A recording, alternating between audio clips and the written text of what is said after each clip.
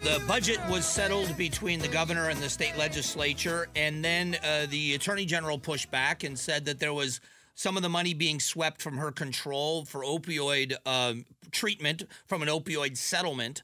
Um, was being misused and was unconstitutional. She challenged it in court. There was a temporary stay, and then a judge made the decision that although, and basically the judge said, from a policy standpoint, I agree with the attorney general, but the law is pretty clear and it specifies that they have the right to do this. I think I've summed that up appropriately. To talk about this topic is the Attorney General, Kris Mayes. Uh, thanks again for coming on the show. Hey, Mike, you bet. Good to talk with you. Did I sum that up fairly in, in how it was decided? Yeah, I think that's a pretty good summary of what happened. You know, we obviously still disagree with the judge and his uh, decision. Um, we think that the consent decrees that are a part of the settlement agreement between the state of Arizona um, and all of the major uh, opioid manufacturers um, are pretty clear that the Attorney General, whoever the AG is over the next 18 years, is supposed to put forward a spending plan and help direct this funding um, and spending. Uh, that didn't happen here, and I think it's kind of a tra- it's it, it's it's an absolute travesty for for the state of Arizona that 115 million dollars is being swept into the state uh, general budget and into the Department of Corrections to backfill their budget um, instead of spending it throughout the state, which is what I wanted to do to help uh, prevent addiction, uh, help treat people who are already addicted to fentanyl, to fight our fentanyl crisis in Arizona, Mike. So uh, it, it's a um, it's a sad day, I think, for Arizonans, especially in rural Arizona. But um, that's where it stands right now. And I think the Department of Corrections had better be ready to prove uh, to me and to everybody else that they actually are spending this money on opioid addiction uh, purposes. And, well, and and you are, and, and the pushback would be that they are going to use that in there. But I, the question I have, I guess, for this is from a legal standpoint, from a lawyer standpoint do you understand the judge's ruling? Because there's a difference between what is the right thing to do and what they are legally allowed to do. Do you still believe that under the law they should not be allowed to do this, or do you just think it was the wrong thing to do now?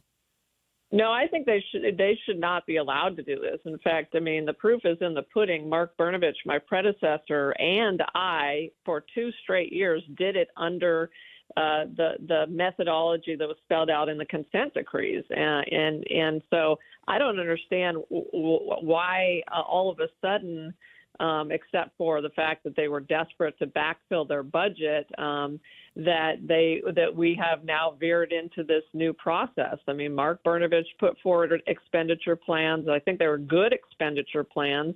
As you know, Mike, I don't I, I don't compliment my predecessor very much, but I think he number one structured a really good settlement with these opioid companies, and number two, he put forward expenditure plans that helped all of Arizona.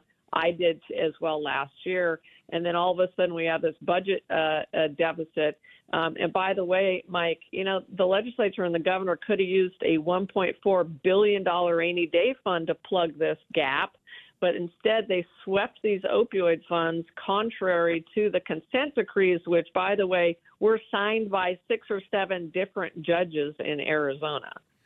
When you look at what's next, because I know one of the concerns you've put forward is that some of these opioid companies now may say you're violating, or we as a state are violating the agreement by not using that money as it was specified to be used. Are you still fearful that that might happen?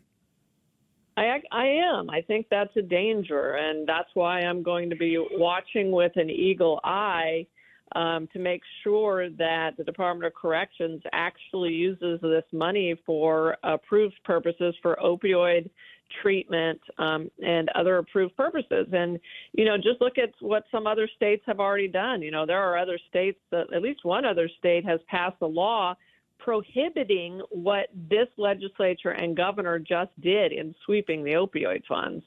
Um, you know, and so, you know, and that's because – the settlement agreement, you, you could see some of these pharmaceutical companies coming into Arizona and trying to claw back their money. uh, because they believe it's been misspent. You know, so obviously that would be a lawsuit against the governor. Um, she would have to explain that, and the legislature would have to explain that. But I am worried about it.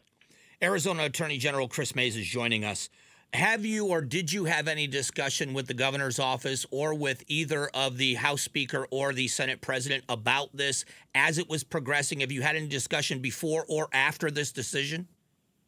Yeah, both, Mike. I mean, we were um, we we had we had been having conversations with the governor and legislators for a year about the expenditure plan that I had put forward that would have uh, sent this money all throughout Arizona on treating uh, opioid addiction and, and other approved purposes. And then when they started in the 11th, the 11th hour of the legislative session, when, when they started talking about sweeping all of the money, by the way, my expenditure plan would have spent $10 million on the prison systems, not 115 million, you know, which is one third of our total state share.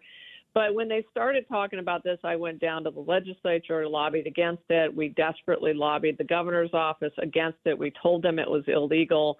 Um, we told the legislature it was illegal, but uh, they they obviously didn't listen to us on that point. Did they give you any reasoning behind it? Because one of the things that I I've kind of really pushed is that you have a very progressive Democrat in the governor and Governor Hobbs, but two very conservative Republicans in the House Speaker and in the Senate President, and yet they agreed that this was the right thing to do from two completely different political perspectives. Did you get either of those perspectives from either group? Um, I think what really happened here, Mike, is that this was the idea of the Senate president, and the governor went along with it. And so, you know, I think they were both desperate to to get a budget done, and neither of them, for whatever reason, was willing to dip into the rainy day fund or to go after what I, as you know, I think is an out of control voucher program. We've got, you know, we're now spending a billion dollars on vouchers, which nobody ever expected. So they weren't willing to fight for uh, uh, using other sources of fund to to um, to balance the budget. Instead, to balance the budget, they illegally spent opioid funds, and I think that's just sad and unfortunate. And yeah, I, the the governor basically signed a Republican budget. When uh, and I want to before I let you go, if you don't mind, just a couple of very quick questions on other things that are happening in your office. One is the investigation into what is known as the fake electors case in Arizona. Is there any update you can give us on that investigation and what's happening in your office? Um, so as as you know, Mike, with the all of the initial appearances have now occurred, and uh, there there is a trial date that's been set for uh, October. Um, you know, we expect there to be a, a, a, lot of motions filed. That we also anticipate uh, um, offering uh, plea deals. Um, I think that is uh, something that, that, that will be on the table. Um, and we'll see where we go go from there. But we'll be ready for trial in October. I'm not sure that that will actually happen given the number of motions that are likely to be filed. And then lastly, can you give us any kind of an update on the investigation into the governor's office with what's known as the pay for play thing that the accusations that are out there that your office is investigating? Um, just that we are actively investigating. I have assigned investigators uh, to that case. Uh, we're, we're moving forward with it, and uh, you know, uh, pursuant to the referral that we received from uh, Senator Shope, and we anticipate, uh, you know, doing that investigation. As you know, we have some of the best investigators and lawyers in the state of Arizona uh, working on on on all of our cases. So we'll update folks uh, when we have a result. And so, is there any kind of a timeline on some of those updates, or is it just wherever it leads you?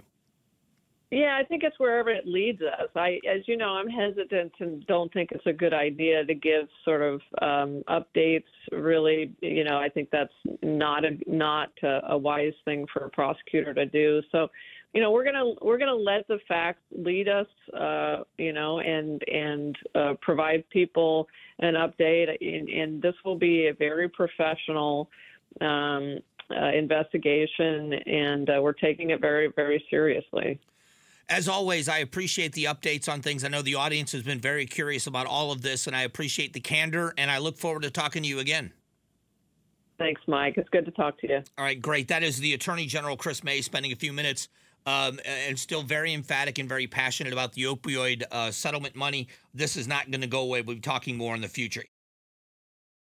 Thanks for watching the Mike Broomhead Show. Catch up on amazing Arizonans, a KTAR News podcast and click the button in the middle to subscribe.